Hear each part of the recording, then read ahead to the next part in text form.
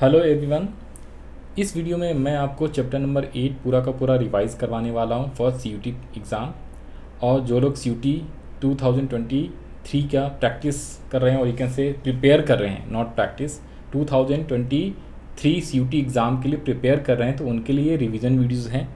Determination of इक्वम level of income chapter number eight और ये आपका आपका जो इकोनॉमिक्स का जो सिलेबस है सीयूटी का वहाँ पे अगर आप सिलेबस देखते हो तो यूनिट नंबर फोर के अंदर ये जो फोर्थ और फिफ्थ टॉपिक है determination of income and employment two sector model and concept of investment multiplier and its working तो ये वाला आपका चैप्टर एट ये वाला टॉपिक है। इसके अंदर आपका जो है, ये सारा टॉपिक्स कवर होता है जो कि चैप्टर नंबर एट में मैं अभी आपको जो रिवीजन करवाने वाला हूँ।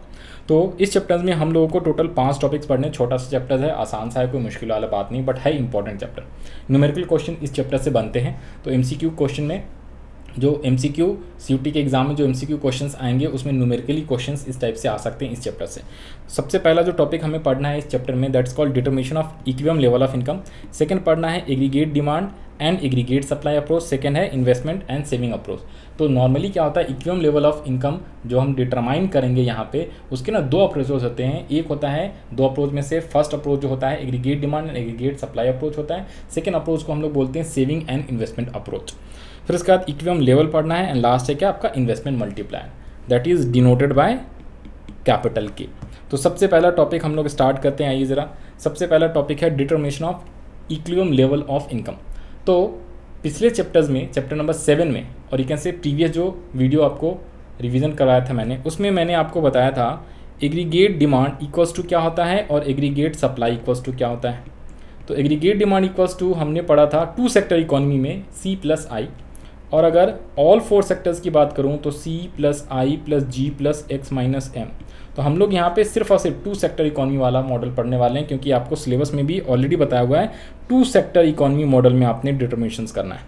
तो aggregate demand equals to C plus I ये अपने को याद रख लेना है। और एग्रीगेट सप्लाई इक्वल्स टू क्या होता था? वाई वाई को ही एग्रीगेट सप्लाई बोलते हैं, और equals to C plus S यानी कि कंजम्पशन प्लस सेविंग्स और aggregate demand equals to consumption plus investment ये दो चीज़ें ऑलरेडी होता है ये आपको याद करके रखना है। अब जब मैं बात करता हूँ इक्विवन लेवल का तो इक्विवन लेवल ऑफ़ इनकम जो है कहाँ पे डिटरमाइन होता है? तो जहाँ पे ये दोनों इक्वल हो जाए, जहाँ पे aggregate demand equals to aggregate supply हो जाता है, वहीं पे क्या हो जाता है? इक्वियम लेवल ऑफ़ इनकम डिटरमाइन हो जाता है। तो अगर मैं बात करूँ aggregate demand equals to aggregate supply तो ज़रा देखो aggregate demand equals to C plus I होता है और एग्रीगेट सप्लाई इक्वल्स टू होता है सी प्लस एस तो एस एस कैंसिल हो गया तो आपका सी प्लस सी कह रहा हूँ। एस एस नहीं सी और सी कैंसिल हो जाएगा। कंजम्पशन एंड कंजम्पशन तो आपका फाइनल क्या हो गया? इन्वेस्टमेंट इक्वल्स टू सेविंग तो एक जो आपका अप्रोच है ना investment and saving approach as investment and saving also as saving and investment approach और दूसरा था aggregate demand and aggregate supply तो यही दो अप्रोचेज आते हैं। एक्चुअली में दो अलग अलग अप्रोच नहीं है। मेनली एक ही से डिराइव हुआ है। तो इसलिए कहेंगे हम दो अप्रोच तो यहाँ पे आ जाओ जी, सबसे पहला पॉइंट जो है क्या है? अकॉर्डिंग टू केनीजियन थ्योरी तो ये हम लोग जो है केनीजियन थ्योरी के अकॉर्डिंग हम लोग ये aggregate demand equals to aggregate supply वाला इक्वियम लेवल डिटर्मिनेशन ऑफ़ इक्वियम लेवल ऑफ़ इनकम जो है हम लोग स्टडी कर रहे हैं। तो केनीजियन साहब ने क्या बोला? एज पर aggregate demand and aggregate supply approach an economy is in इक्वियम when aggregate demand for goods and services is equal to aggregate supply during a period of time So equilibrium is achieved when aggregate demand equals to aggregate supply. We know that aggregate demand is sum total of consumption and investment यानी कि AD equals to C plus I. Also aggregate supply equals to C plus S. तो जब मैं इन दोनों को equal करूँगा तो hence saving equals to investment और aggregate demand equals to aggregate supply जो मैंने यहाँ पे बताया वही सेम चीज़ बताया हुआ नेक्स्ट है क्या it means according to Keynesian theory there are two approaches for determining equal level of income and employment in an economy और in the economy number one saving investment approach number two aggregate demand aggregate supply approach या आप पहले इसको number one बोल सकते हो aggregate demand aggregate supply approach और second को saving and investment approach simple सी बात ये। तो यहाँ पे आ जाओ जी। सबसे पहला एग्रीगेट डिमांड और एग्रीगेट सप्लाई अप्रोच शॉर्ट में A D S approach saving and investment approach को एस आई अप्रोच शॉर्ट में हम लोग बोलते हैं। अब मैं बात करता हूँ यहाँ पे कुछ पॉइंट जो है आपको दिमाग में लेके चलना है that is aggregate demand aggregate supply saving and investment are all planned and ex ante variables तो हम यहाँ पे एक्सपोस्ट वाले की बात करने, नहीं कर रहे हैं। सेविंग इन्वेस्टमेंट जितनी भी है एक्सपोस्ट वाले नहीं लेना एक्स एक्स एंड वाले लेना है, जो कि हम लोग प्लानिंग वाले, जो पहले प्लान करके रखते हैं। ये हमने पिछले चैप्टर में पढ़ा था ex post saving ex ante investment ex ante savings and ex post savings तो यहाँ पे हम लोग एक्स एंड वाला पढ़ रहे हैं, ना कि पोस्ट वाला। अब कुछ अजम्पन से याद रख लेना है आपने। इक्वियम लेवल को डिटरमाइन करने के लिए हम लोगों ने कुछ अजम्पन्स ले रखा है। तो इस अजम्पन्स को आपको याद करके रखना है नंबर वन तो determination of इक्वियम output is to be studied in the context of two sector model तो हम लोग यहाँ पे टू सेक्टर मॉडल की ही बात कर रहे हैं फोर सेक्टर की बात नहीं कर रहे हैं, और हमें पढ़ना भी टू सेक्टर ही है।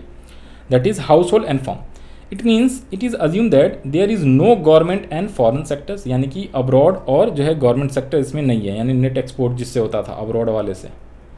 अब्रॉड बोलो या फिर रेस्ट ऑफ़ द वर्ल्ड भी हम लोग बोलते हैं तो ये दोनों सेक्टर्स नहीं है।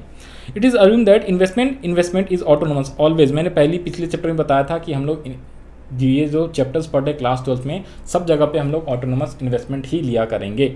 जो कि ऑलवेज फिक्स रहता है और पैरल टू एक्स एक्सिस होता है। नेक्स्ट है प्राइस लेवल जो है, वो भी क्या होगा? Remain constant goods and services का जो प्राइस है, वो चेंज नहीं होएगा। फिर इक्विम output is to be determine in context of short run और हम लोग शॉर्ट रन की बात करें, ना कि लॉन्ग रन क्योंकि लॉन्ग रन में इन्वेस्टमेंट चेंज हो जाता है। शॉर्ट रन में इन्वेस्टमेंट चेंज नहीं होता, क्योंकि इन्वेस्टमेंट इज़ फिक्स एसेट्स और you can say expenditure on fix assets और कैपिटल गुड्स तो शॉर्ट रन में हम जल्दी चेंज नहीं करते हैं अपना इन्वेस्टमेंट लॉन्ग रन में ही चेंज होता है। तो इसीलिए आपको चार चीज़ें रख लेना है। ये जो इक्वियम हम डिटरमाइन कर रहे हैं, एक तो शॉर्ट रन में कर रहे हैं। इन्वेस्टमेंट क्या है? कॉन्स्टेंट है। प्राइस लेवल क्या है? कॉन्स्टेंट है। और साथ साथ में आपका क्या है? टू सेक्टर मॉडल की हम लोग बात कर रहे हैं।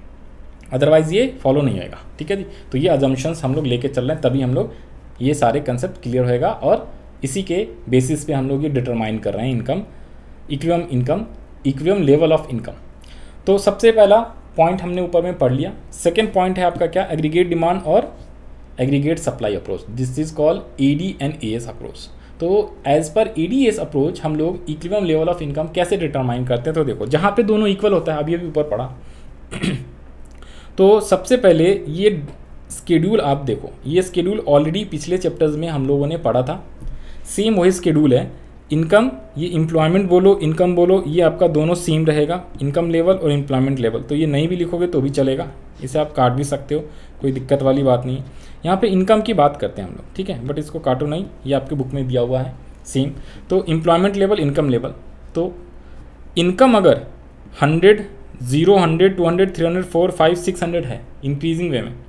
आपकी कंजम्पशन वाइज सेम ही है forty one twenty two hundred two eighty three sixty four forty and five twenty तो आप जो है सेविंग निकाल सकते हो saving equals to income minus consumption करके।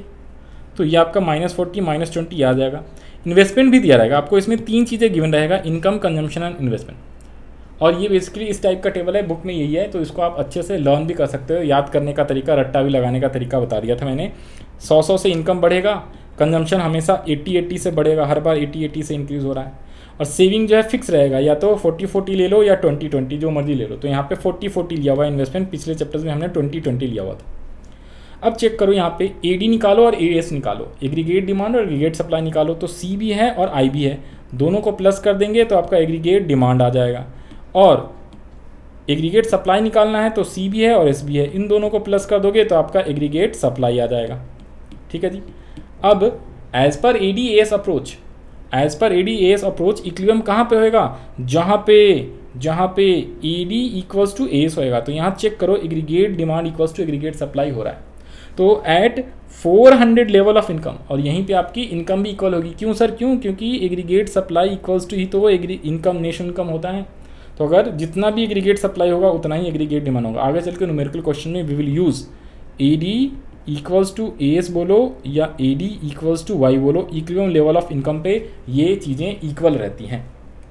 तो यहाँ पे तो इक्वियम हो गया, लेकिन इसके ऊपर में क्या है देखो, इसके ऊपर में आपने ध्यान रख लेना है एग्रीगेट यहाँ पे जो है ना, यहाँ पे आई गेस नाइन्टी होएगा ना शायद। यहाँ पे ज़ीरो होगा नाइन्टी होगा। सी प्लस एस ये ज़ीरो होएगा। तो यहाँ पे देखो ज़रा, यहाँ पे क्या हो रहा है, इन सब में एग्रीगेट डिमांड जो है ग्रेटर देन एग्रीगेट सप्लाई है। एग्रीगेट डिमांड एटी और aggregate supply zero one sixty one hundred two forty two hundred और थ्री तो ये सारे क्या हैं? यहाँ पे एग्रीगेट डिमांड ज़्यादा हो रहा है एग्रीगेट सप्लाई कम है। और इक्विलिब्रियम के बाद वाले क्या है? एग्रीगेट डिमांड लेस देन हो रहा है तो इसलिए इसे हम लोग बोलते हैं less than less than A D is less than A S A D is less than A S तो सिंपल वर्ड में बोलें तो जहाँ पे aggregate demand equals to aggregate supply होता है as per A D A S approach वहीं पे आपका equal level of income determine हो जाता है। तो आज जी पढ़ो यहाँ पे फटाफट। According to Keynesian theory the equal level of income is an economy in an economy is determined when aggregate demand respected that is C plus I is equal to output यानी कि aggregate supply that is A S also you can say C plus S तो यहाँ पे देखो C equals to consumption expenditure it varies directly with the level of income consumption rises with rise of income I for investment. Investment हमने assume करा हुआ है। क्या है? इनकम घटे या बढ़े, इन्वेस्टमेंट चेंज नहीं होगा यानी ऑटोनोमस इन्वेस्टमेंट रहेगा। तो इन्वेस्टमेंट जो है आपका क्या है? ऑटोनोमस है। इन्वेस्टमेंट आपका क्या है यहाँ पे? ऑटोनोमस इन्वेस्टमेंट्स है। फिर उसके बाद बात करते हैं क्या? Aggregate demand and aggregate supply का कर्व तो इक्वियम कहाँ पे होएगा? देखो जरा इक्वियम कहाँ पे होएगा। तो यहाँ पे ये आपका एग्रीगेट सप्लाई कर्व होता है। यानी कि वाई इनकम नेशन इनकम बोलते हैं। और ये ऑलवेज 45 डिग्री का एंगल बनाता है। और ये क्यों 45 डिग्री का एंगल बनाता है, ये आपको ग्रेजुएशन में पढ़ना है, ठीक है? ये क्लास ट्वेल्थ में नहीं पढ़ना। इसके बारे में भी पढ़ना है। तो जब आप सी पास करके कॉलेज में एडमिशन लोगे तो वहाँ पर आपको पढ़ाया जाएगा। नेक्स्ट क्या है? ये ये पैरेलल नहीं है। ये बेसिकली क्या है? एग्रीगेट डिमांड जो है अपवर्ड स्लोपिंग है अपवर्ड स्लोपिंग तो जहाँ पे एग्रीगेट डिमांड और एग्रीगेट सप्लाई इक्वल हो रहा है, किस पॉइंट पे? ई e पॉइंट पे। तो यहीं पे A D equals to S है तो इसी हम लोग इक्वियम लेवल बोलते हैं। नेक्स्ट है क्या? When A D is more than S and when A D is less than S तो ये वाला सिचुएशन था ना, ये मोर देन वाला है ए डी और ये लेस देन वाला है। अब यहाँ पे चेक करो तो ये जो पोर्शन है ना, ये इसमें ए डी क्या हो रहा है? ग्रेटर है। ये जो पोर्शन है, ये A D is greater than A S यहाँ पे इक्वल है और इसके बाद A D is less than A S है। तो इसमें होता क्या है? देखो ज़रा। तो when A D is more than S तो उसमें क्या होता है? वेन प्लानिंग एक्सपेंडिंग्स या expenditure is more than planning output या plan output then C plus I curve lies above the forty five degree angle तो ये बताया हुआ है फोर्टी फाइव डिग्री के ऊपर में सी प्लस आई ए डी कर सी प्लस ई डी कर थोड़ा सा ऊपर होता है फोर्टी फाइव डिग्री से। It means that consumer and firm together would buying more goods than firm is willing to produce as a result plan inventory would fall below the desired level to bring the inventory back to the desire level firms would resort to increase the unemployment and output until the economy back to the equilibrium level और AD equals to AD जब तक। तो simple है ना, जब AD greater होएगा AS से ना तो इकोनॉमी में क्या होगा, लोग जो है डिमांड ज़्यादा कर रहे हैं गुड्स एंड सर्विसेज़ का सप्लाई कम हो रहा है। तो डिमांड जब ज़्यादा कर रहे हैं तो इकोनॉमी क्या करेगी सप्लाई को भी बढ़ाएगी और तब तक बढ़ाएगी जब तक कि दोनों इक्वल ना हो जाए। और जब A D less than S होएगा तो उस केस में क्या होगा एग्रीगेट डिमांड कम है, लोगों की डिमांड कम है और इकोनॉमी में सप्लाई जो एग्रीगेट सप्लाई है, वो बहुत ज़्यादा है। तो इकोनॉमी क्या करेगी? उस केस में डिमांड को बढ़ाए की कोशिश करेगी, कैसे भी बढ़े, या फिर सप्लाई को धीरे धीरे कम कर देंगी और दोनों दोबारा से फ्री हो जाएँगे। क्या? इक्वल आ जाएँगे, वहाँ तक सप्लाई को कम किया जाएगा। तो वही सेम लिखा it means consumer and firm together would buying less goods than firm is willing to produce as a result plan inventory would rise तो इन्वेंट्री ज़्यादा होने लगता है। ये ध्यान रखना जब A D less than S होता है तो इन्वेंट्री जो है ज़्यादा होता है और यहाँ पे इन्वेंट्री जो होता है, वो फॉल करता है। ठीक है जी? तो उस केस में क्या होगा? It is clear unwanted increase in inventory तो firms plan to decrease the employment and output until back output level जो है क्या हो जाए? Equal A D equals to A S हो जाए। ठीक है? तो ये था और कुछ नहीं था।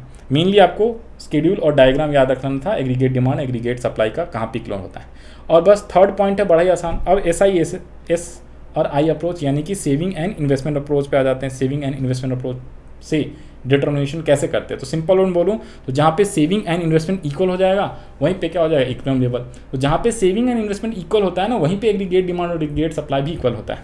तो यहाँ पे देखो 400 इनकम है 400 इनकम यहीं पे एग्रीगेट डिमांड इक्वल हो रहा था 400 इक्वल्स टू 400 तो कंजम्पशन 40 है सेविंग यहाँ पे क्या है? 40 सॉरी कंजम्पशन 360 है और ये है 40 और इन्वेस्टमेंट भी 40 इन्वेस्टमेंट तो हमने सब जगह 40 40 लिया है। अब सेविंग क्या है? इनकम दिया हुआ है कंजम्पशन दिया है तो हमने सेविंग निकाल लिया और इन्वेस्टमेंट गिवन ये तीन चीज़ें गिवन था। ये तीन चीज़ें गिवन था। हम लोगों ने सेविंग निकाला है वाई माइनस सी करके और ये आया है आपका कितना? Minus forty minus twenty zero twenty forty sixty eighty तो जहाँ पे इन्वेस्टमेंट और सेविंग इक्वल होएगा, वहीं पे क्या होगा? इक्वम हो जाएगा. S equals to I. लेकिन इसके ऊपर में जब आप देखोगे तो उल्टा लिख दिया ना सेविंग क्या हो रहा है? लेस देन इन्वेस्टमेंट है। सेविंग लेस देन इन्वेस्टमेंट है। और इधर पे saving is more than investment तो इस चीज़ को ये डिनोट किया हुआ है। इसका आ जाओ जी यहाँ पे, जब डायग्राम पहले डायग्राम दिखा देता हूँ, फिर ये वाला पॉइंट पढ़ाता हूँ। When saving is more than investment when saving is less than investment तो क्या होता है? जैसे ऊपर में हमने पढ़ा था when A D is greater than S और when A D is less than S तो क्या होता है इकोनॉमी के अंदर? वैसे यहाँ पे है saving is more than investment तो if plan saving is more than plan investment it simply means the household are not consuming as much as the firms expected to them as a result inventory rises तो simple word में बोलूँ ना तो इसका मतलब ये होता है कि हाउस होल्ड जो है, क्या कर रहा है? सेविंग ज़्यादा कर रहा है। क्योंकि सेविंग क्या है? मोर देन इन्वेस्टमेंट है। और इन्वेस्टमेंट पे खर्चे कम कर रहा है हाउस होल्ड लोग फॉर्म लोग। तो उस केस में क्या है? आपकी इन्वेंट्री जो है ना, वो बढ़ने लगती है डिज़ायर लेवल से। तो to clear the unwanted increase in inventory firm would plan to reduce the production तो उस केस में फॉर्म क्या करेगा? अपना प्रोडक्शन घटाएगा ताकि क्या हो जाए? दोनों फिर से इक्वल हो जाए। और जब सेविंग क्या होता है? लेस देन इन्वेस्टमेंट होता है, यानी कि सेविंग कम कर रहे हैं और लोग खर्चे ज़्यादा कर रहे हैं। तो उस केस में क्या है? When saving is less than plan investment the household are consuming more and saving less than the firms expected to them as a result inventory क्या हो जाएगा? इसमें फॉल करेगा। इन्वेंट्री इसमें फॉल करेगा। And to bring back the desire level the firm would plan to increase the production तो उस case में प्रोडक्शन बढ़ाएगा। ये एमसीक्यू के लिए पॉइंट याद रख लेना है। एमसीक्यू में इस टाइप से क्वेश्चन बना सकता है कि एक तो क्या होता है प्लान इन्वेंट्री जो है फॉल करता है जब सेविंग क्या होता है इज़ लेस देन इन्वेस्टमेंट होता है। और इसकी वजह से प्रोडक्शंस को क्या करना पड़ता है इंक्रीज़ करना पड़ता है। लेकिन जहाँ पे सेविंग जो है मोर देन इन्वेस्टमेंट होता है तो वहाँ पे क्या है इन्वेंट्री आपका इंक्रीज़ होता है। और इन्वेंट्री इंक्रीज़ हो रखा है तो आप प्रोडक्शंस क्या करोगे, घटाओगे। प्रोडक्शन जो है आप डिक्रीज़ करोगे। तो ये इस टाइप से एमसीक्यू पूछेगा तो आप याद रख लेना। इसके बाद ये है कुछ डायग्राम था। इसमें डायग्राम है क्या? देखो, ये aggregate demand aggregate supply equal ऊपर में अभी जो हमने इक्वम वाला डायग्राम पढ़ा था, वहीं पे क्या होगा? वहीं पे ये आई है पैरेलल टू एक्स एक्सिस यानी इनकम के पैरेलल और सेविंग माइनस निगेटिव से स्टार्ट होता है माइनस सीवर ये जो यहाँ से यहाँ तक का पोर्शन है, इसे हम लोग माइनस सी बार बोलते हैं यानी माइनस ऑटोनोमस कंजम्पशन और जहाँ पे आई इक्वल्स टू यहाँ पे आई इक्वल्स टू एस हो रहा ना तो यहीं से ऊपर देखो जी, यहाँ पे ही इक्वियम ए डी एस होता है और यहीं पे इक्वियम एस इक्वल्स टू आई होता है सेविंग इक्वल्स टू इनकम ये मैथमेटिकली हमने ऊपर में हम लोगों ने ये भी प्रूफ करा था, ये मैथमेटिकली तो ये एक्चुअली में सेम ही चीज़ होता है, और कोई दिक्कत वाली बात नहीं होती। ना नेक्स्ट पे आ जाओ जी फोर्थ पॉइंट है आपका क्या? इक्वियम लेवल अब देखो इक्वियम लेवल क्या होता है, सुनो।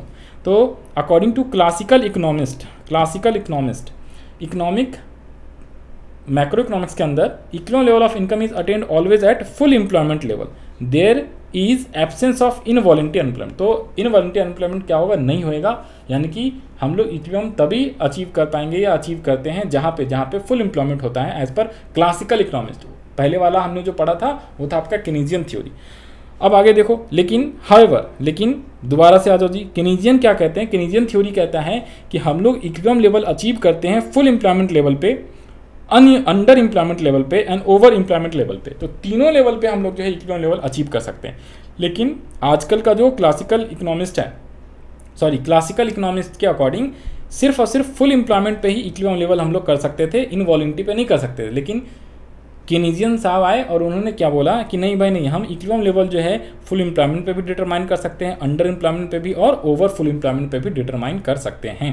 तो इसका इन्होंने, देखो जी डायग्राम बना के और एक्सप्लेन करा मैं। फुल एम्प्लॉयमेंट पे क्या होगा? सेम अभी जो ऊपर पड़ा। A D equals to S ये ए एस है फोर्टी फाइव डिग्री और ये एग्रीगेट डिमांड है, जहाँ इक्वल हो रहा है फुल एम्प्लॉयमेंट आ गया। अब उसके बाद करें अंडर एम्प्लॉयमेंट पे कैसे होगा डिटर्मिनेशन ऑफ़ इक्विलिब्रियम लेवल तो अंडर एम्प्लॉयमेंट में क्या होगा ना, देखो, ये एग्रीगेट सप्लाई है 45 डिग्री ये एग्रीगेट डिमांड है, ये एग्रीगेट सप्लाई ये एग्रीगेट डिमांड में बना के दिखा रहा हूँ, ये एग्रीगेट सप्लाई है, ये एग्रीगेट डिमांड है।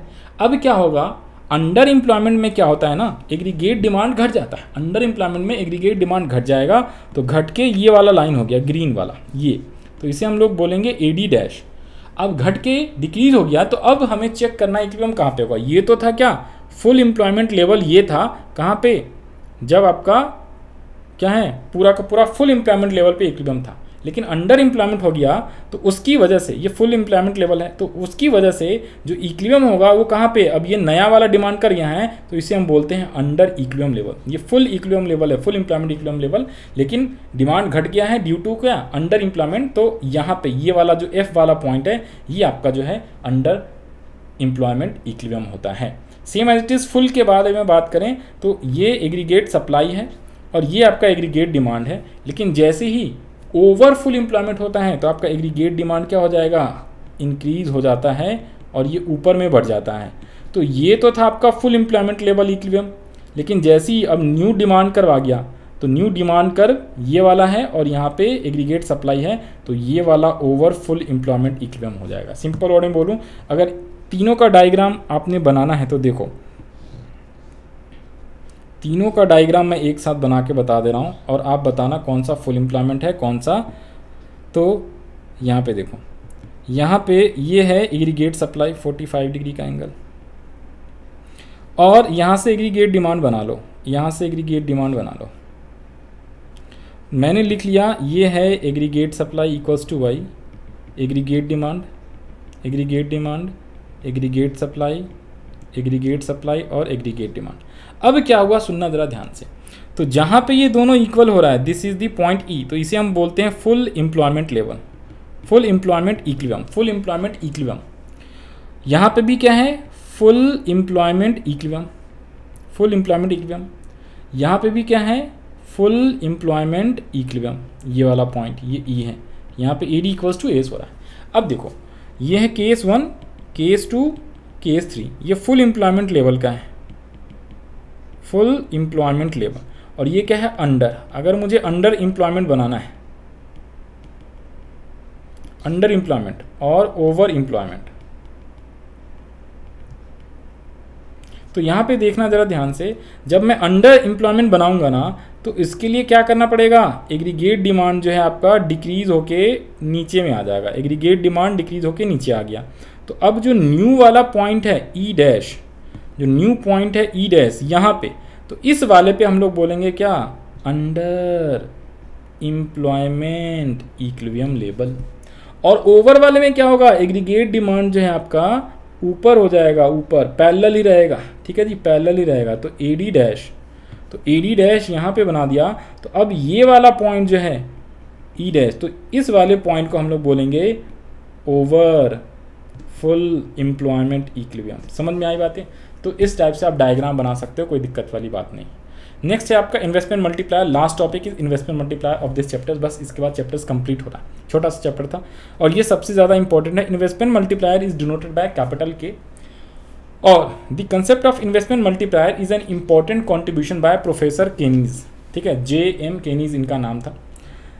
Keynes believe that an initial increment in investment increases final income by many times. Multiplier express the relationship between initial increment in investment and resulting increase in aggregate income.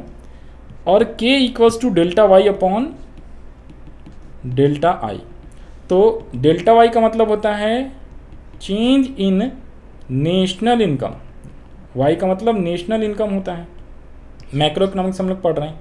जहाँ पे भी income लिखा है macro economics में वहाँ समझना national income and change in investments आप इस तरीके से भी लिख सकते हो।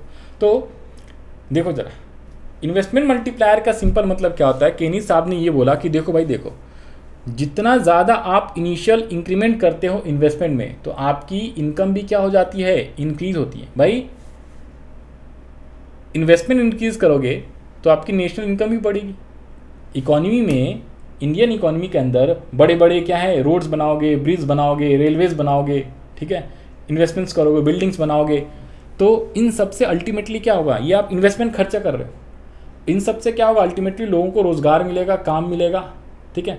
तो उससे उनकी इनकम भी क्या होगी? इंक्रीज़ होगी तो अल्टीमेटली नेशनल इनकम भी क्या होगा? आपका इंक्रीज़ होएगा। तो किनी साहब ने बोला क्या?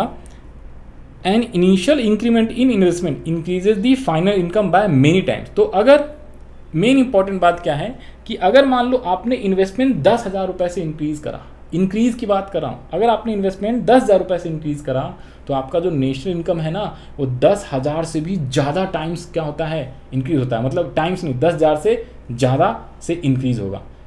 यानी कि सिंपल बोलूँ तो पहले दस हज़ार था, अब हमने इंक्रीज़ करके बीस हज़ार कर दिया। तो दस हज़ार के द्वारा इन्वेस्टमेंट इंक्रीज़ करा तो दस हज़ार का डबल कर दिया बीस हज़ार। यानी, ठीक है टू टाइम्स हो गया। तो आपकी जो इनकम है ना टू टाइम्स से भी ज़्यादा टाइम्स में इंक्रीज होएगा। मतलब इनकम पहले मान लो सौ करोड़ होता था तो आपका पाँच सौ छः सौ करोड़ इतना इंक्रीज हो जाएगा। तो जितना आप इन्वेस्टमेंट में इंक्रीज करते हो, उससे ज़्यादा आपकी इनकम में इंक्रीज होती है, ये इन्होंने बोला था। और इसको हम लोग आ जाओ, यहाँ पे एग्ज़ाम्पल के थ्रू समझते हैं। तो यहाँ पे लिखा हुआ है an additional investment that is rupees four hundred crore in an economy generated additional income of sixteen thousand crore the value of multiplier in case will be four. तो सिंपल वर्ड में बोलूँ तो अगर आपकी इनकम जो है ना, वो फोर टाइम्स इंक्रीज होगी सिंगल इंक्रीज इन इन्वेस्टमेंट में।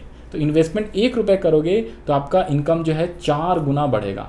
इन्वेस्टमेंट अगर दो हज़ार करोगे तो आपका इनकम जो है दो हज़ार इंटू चार, आठ हज़ार से बढ़ जाएगा। तो ये कहते हैं इन्वेस्टमेंट मल्टीप्लाई इसे कहते हैं इन्वेस्टमेंट मल्टीप्लायर डिनोटेड बाय के तो इसका फार्मूला क्या होता है? Delta Y upon delta I होता है। इससे न्यूमेरिकल क्वेश्चन आता है। आप देखो, एक और भी है एमपीसी और मल्टीप्लायर एम एंड मल्टीप्लायर क्या है? देखो तो इन दोनों के बीच डायरेक्ट रिलेशन होता है। इन दोनों के बीच डायरेक्ट रिलेशन होता है। मतलब higher M will more multiplier and vice versa अगर एम ज़्यादा होगा एम ज़्यादा होगा तो मल्टीप्लायर भी ज़्यादा होगा। एम अगर कम होएगा तो मल्टीप्लायर भी कम होएगा। कैसे? अब इसको प्रूफ करते हैं यहाँ पे आओ। ये रहा। तो यहाँ पे क्या है? ये मेन है। y equals to C plus I होता है। अब इसको मैं कैसे आपको एक सेकेंड दो, एक सेकेंड दो। आपको एक अलग पेज पे यहाँ पे बताता हूँ। आपको जो है ये सारी चीज़ें मैं यहाँ पे एक फ्रेश पेज पे बताता हूँ। तो एग्ज़ाम्पल के तौर पे ये दो, सबसे पहले ड्राइव कर दूँ। ये डेल्टा डेल्टा कह रहा हूँ। के इक्वल्स टू अभी अभी हमने पढ़ा delta Y upon delta relationship between change in income and change in investment और you can simply say due to increase in investment या चेंज इन इन्वेस्टमेंट जितना चेंज इन इनकम होता है, उसे हम लोग इन्वेस्टमेंट मल्टीप्लायर बोलते हैं। अब एक बात बताओ ज़रा, अगर मैं अगर मैं K equals to delta Y upon delta I होता है, क्या मैं क्या मैं डेल्टा वाई को न्यूमरेटर और डी न्यूमरेटर दोनों में डिवाइड कर दूँ डेल्टा वाई से? हाँ सर कर दो। ऊपर वाला तो वन आ गया नीचे वाला delta I upon delta Y आ गया। अब इसको मैंने क्या कर दिया, यहाँ पे ध्यान दो। डेल्टा आई इक्वल्स टू अपन क्या लिख सकते हैं? डेल्टा आई याद है क्या? आई इक्वल्स टू क्या लिख सकते हैं? सर सर, एक बात बताओ। Aggregate demand equals to C plus I लिख सकते थे क्या? और एट इक्वम लेवल एग्रीगेट डिमांड और एग्रीगेट सप्लाई दोनों इक्वल होता है। At इक्वम level aggregate demand aggregate supply equal होता है दोनों। तो यहाँ पे एक बात बताओ क्या aggregate supply equals to C plus I लिख सकते थे। आंसर इज़ हाँ। यस सर लिख सकते थे। तो दोनों जब इक्वल होता है aggregate demand equals to aggregate supply इक्वम level पे, ये सारी इक्वम लेवल पे हो रहा है। तो हम लिख सकते हैं एस इक्वल्स टू आई होता है इक्वम लेवल पे। करेक्ट ये आपको याद रख लेना। तो आई इक्वल्स टू क्या हो जाएगा? अगर मुझे आई इक्वल्स टू निकालना है तो आई इक्वल्स टू क्या मैं वाई माइनस एस भी लिख सकता हूँ और we can also write Y minus C भी लिख सकते हैं अपन। वाई माइनस सी भी लिख सकते हैं। ठीक है जी? वाई माइनस सी भी अपन लिख सकते हैं। ठीक है ना? तो एक बात बताओ, क्या मैं delta I equals to delta Y minus delta C नहीं लिख सकता? हाँ सर हाँ बिल्कुल लिख सकते हैं। तो अब यहाँ पे आ जाओ। ये वन ऊपर में है, नीचे में क्या हो जाएगा? डेल्टा आई की जगह आप delta Y minus delta C लिख लो और ये हो जाएगा डेल्टा वाई अब जब दोबारा से इसे सॉल्व करोगे तो delta Y upon delta Y minus delta C upon delta Y लिख सकते हो। आप यहाँ पे डेल्टा आई जो है ना, यहाँ पे वाई माइनस एस भी करके आप आसानी से कर सकते थे। अब यहाँ पे आओ। तो वन अपॉन वन माइनस ये एम पी सी हो गया। और क्या इसको one upon M P S नहीं लिख सकते? Because we know M P C plus M P S equals to one होता है, हमने पिछले चैप्टर्स में पढ़ा था। तो के इक्वल्स टू आपका तीन फार्मूला आपको याद रखना एक्चुअली ये तीन फार्मूला नहीं, बल्कि ये सिंपली डेरिवेशन है।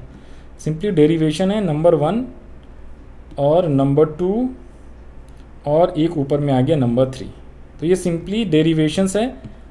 ठीक है जी? तो इससे ये तीन फार्मूला अभी आपके बुक में यहाँ पे दिखाऊँगा मैं आपको। तो ये तीन जो फार्मूला है, ये और कहीं से नहीं, ये जो तीन फार्मूला यहाँ पे लिखा हुआ ना, ये और कहीं से नहीं, एक ही का डेरिवेशन है। ये एक ही का डेरिवेशन है। K equals to delta Y upon delta I K equals to one upon one minus M and K equals to one upon N तो इसे हम लोग बोलते हैं formula of multiplier investment multiplier multiplier बोलो इन्वेस्टमेंट मल्टीप्लायर बोलो, एक ही बात है अपने के लिए, ठीक है जी, हमारे लिए। तो अब यहाँ पे जो है क्या है, ये याद रख लेना है सी और एम पी सी और इन्वेस्टमेंट मल्टीप्लायर में पॉजिटिव रिलेशन होता है तो यानी कि investment multiplier and M P S and M P S में निगेटिव या इन्वर्स रिलेशनशिप होएगा। ठीक है जी? ये आपने ध्यान रख लेना है। अब इसके ऊपर न्यूमेरिकल क्वेश्चंस में डायरेक्टली करा देता हूँ, किस टाइप से पूछा जाएगा। इसके अलावा एमसीक्यू के लिए भी इंपॉर्टेंट याद रख लेना मैक्सिमम वैल्यू ऑफ़ मल्टीप्लायर कितना हो सकता है? तो मैक्सिमम वैल्यू ऑफ़ मल्टीप्लायर जो हो सकता है, वो कितना हो सकता है? देखो एमपीसी जो है क्या मल्टीप्लायर इज़ इनफाइनाइट इन्वेस्टमेंट की मैक्सिमम वैल्यू इनफाइनाइट हो सकती है बिकॉज़ मल्टी एम जो है क्या हो सकता है? ज़ीरो भी ज़ीरो कह रहा है, वन भी हो सकता है। तो अगर एम पी सी वन होएगा एम पी सी वन होएगा तो K equals to one upon one minus one तो वन अपॉन ज़ीरो तो इसलिए इनफाइनाइट हो जाएगा। ठीक है जी? तो मैक्सिमम वैल्यू जो है के का मल्टीप्लायर का इनफाइनाइट हो सकता है। अब मैक्सिमम वैल्यू है तो मिनिमम वैल्यू क्या होगा? तो अगर एम पी सी ज़ीरो होगा तो K equals to one minus one minus zero तो आंसर इज़ वन तो मिनिमम वैल्यू वन हो सकता है मैक्सिमम वैल्यू आपका क्या हो सकता है? इनफाइनाइट तो ये आपको याद रख लेना है के जो है के क्या करता है? वन से लेके इनफाइनाइट तक हो सकता है। के जो है वन से लेके इनफाइनाइट तक हो सकता है। बस ये कंप्लीट है। अब इसके न्यूमेरिकल क्वेश्चन कैसे आएँगे, वो ज़रा एक बार दिखा दूँ, एक दो क्वेश्चन देखो। एग्ज़ाम्पल के तौर पे ये पास ईयर्स के एग्ज़ाम के क्वेश्चन से सारे। जैसे एक क्वेश्चन है, कह रहा है क्या? Find consumption expenditure from the following autonomous consumption तो ये ये जो है कंजम्पशन फ़ंक्शन पे था, जो पिछले चैप्टर्स में हमने पढ़ा था C bar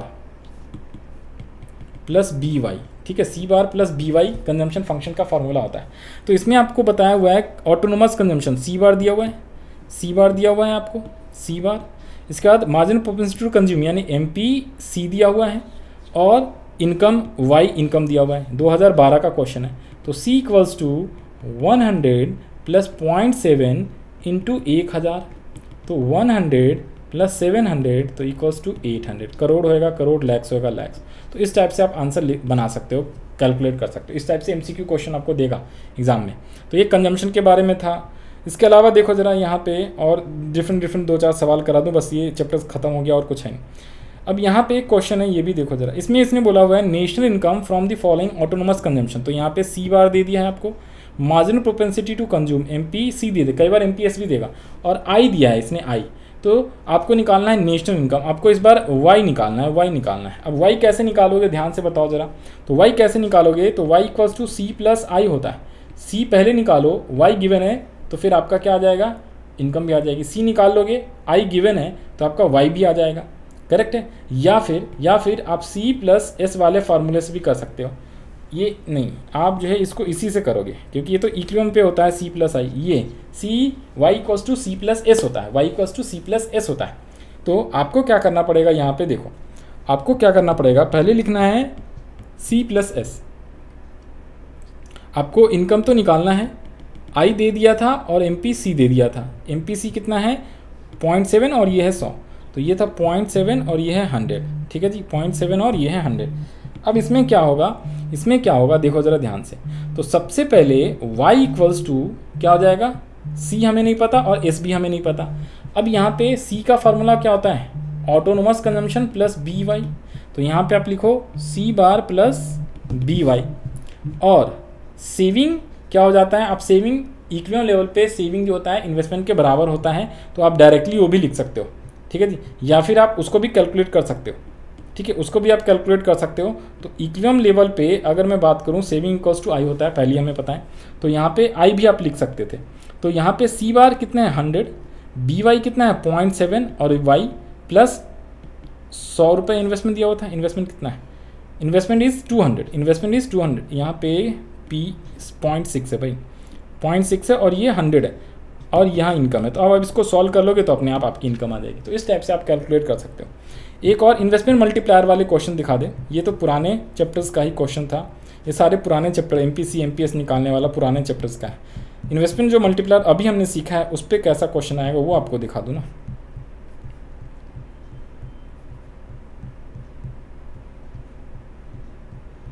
ये रहा जी। इन्वेस्टमेंट मल्टीप्लायर पे आपका जो क्वेश्चन है, ये रहा। एग्ज़ाम्पल के तौर पे ये बहुत बड़ा क्वेश्चन है, छोटा सा लेते हैं। ये रहा एक क्वेश्चन ये कह रहा है क्वेश्चन नंबर 19 में investment in an economy rises by 400 crore investment rise कर रहा है, यानी कि डेल्टा आई है। Marginal propensity to consume zero है, यानी कि एमपीसी जो है आपका ज़ीरो है। कैलकुलेट चेंज इन इनकम आपको डेल्टा वाई निकालना है। तो इसमें आप कैसे निकालोगे? सिंपल आपने क्या करना है? आपने के का फार्मूला लिखना है। सबसे पहले तो इन्वेस्टमेंट मल्टीप्लायर का फार्मूला लिखो delta Y upon delta I के हमें पता नहीं है के तो हमें निकालना है। नहीं के हमें निकालना नहीं है। हमें तो निकालना है क्या? हमें निकालना है नेशनल इनकम में चेंज ये वाला पोर्शन चेंज इन इनकम तो एक बात बताओ, यहाँ पे ऐसे निकालो ना, देखो। हमने पहले क्या लिखना है? K equals to delta Y upon delta I ये वाला पोर्शन अपने को निकालना है। तो इसके लिए डेल्टा आई और के चाहिए। अब डेल्टा आई तो हमें पता है 400 करोड़ के नहीं पता है।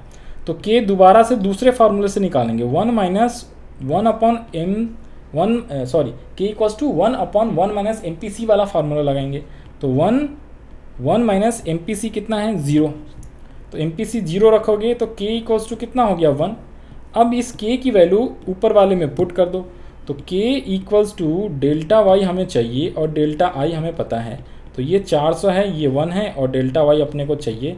तो delta Y equals to 400 crore rupees जो होएगा, उस हिसाब से आप आसानी से निकाल सकते हो। तो करोड़ है तो करोड़।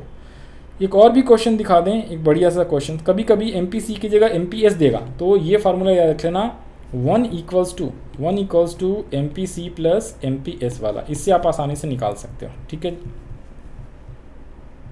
इसके बाद एक और लास्ट क्वेश्चंस करा दूँ, जो थोड़े से टफ वाले होते हैं। कौन से? देखो जी, देखो। एक क्वेश्चन और भी करा देता हूँ, एक ये रहा। ये क्वेश्चन है क्या? ये रहा ट्वेंटी नाइन्थ वाला, बस।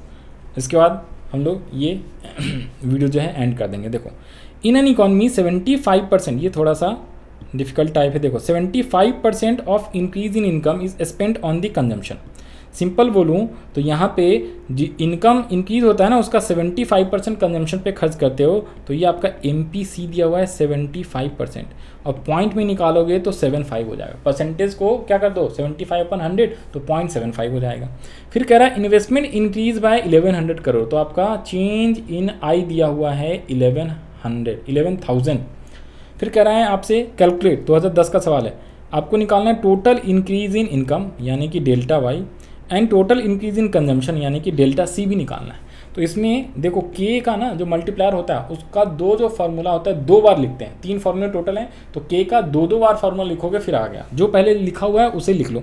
तो पहले तो के इक्वल्स टू ये जो फार्मूला आपको याद है, ये लिख लो delta Y upon delta I हमें चाहिए कौन सा? हमें तो यही वाला चाहिए तो पहले के की वैल्यू निकालनी होगी। तो के की वैल्यू दूसरे फार्मूले से दोबारा निकाल लो जरा। के इक्वल्स टू वन नंबर क्या दिया हुआ है? एम पी सी दिया हुआ है तो वन माइनस एम सी अगर एमपीएस देगा तो वन अपॉन में एमपीएस सीधा निकाल लेना। तो one upon one minus MPC तो one upon one minus point seven five तो one upon point two five तो ये के की वैल्यू फोर आ गई फोर टाइम्स यहाँ फोर पुट करो डेल्टा वाई हमें निकालना है, और डेल्टा आई गिवन है, ग्यारह हज़ार। तो hence delta Y equals to चौवालीस हज़ार रुपये करोड़ जो होगा, लिख दोगे। पहला ए का आ गया आंसर सेकेंड पॉइंट निकालना था total increase in consumption we know delta Y equals to delta C plus delta I तो डेल्टा सी चाहिए तो डेल्टा आई तो ग्यारह हज़ार है और ये है फोर्टी फोर थाउज़ेंड करोड़ तो hence delta C equals to forty four minus eleven तो थर्टी थ्री थाउज़ेंड तो इस टाइप से जो भी आपको क्वेश्चन में बोलेगा, आप आसानी से निकाल सकते हो। एम सी क्यू क्वेश्चन इस टाइप के क्वेश्चन पे बहुत ज़्यादा बन सकता है। तो आई होप मैंने आपको ये चैप्टर जो है कंप्लीट करा दिया रिवीजन पूरा। बाकी कोई भी डाउट हो, कोई टॉपिक छूट गया हो, रह गया हो, उसके बारे में पूछना हो तो आप कमेंट सेक्शन में लिख सकते हो। मैं एक्सप्लेन कर दूँगा, आपको नया वीडियो अपलोड कर दूँगा। व्हाट्सएप नंबर पे भी आप जो है अपनी क्वेरीज़ वगैरह सेंड कर सकते हो। जिनको नोट्स चाहिए पीडीएफ नोट्स टेलीग्राम चैनल का नीचे डिस्क्रिप्शन में लिंक है, वहाँ पे जाओ पीडीएफ नोट जो है आप डाउनलोड कर लो और अच्छे से आप अपना सी का प्रिपरेशन करते रहो। इसी के साथ bye bye all the best to all of you जो लोग सी एग्ज़ाम का प्रिपरेशन कर रहे हैं।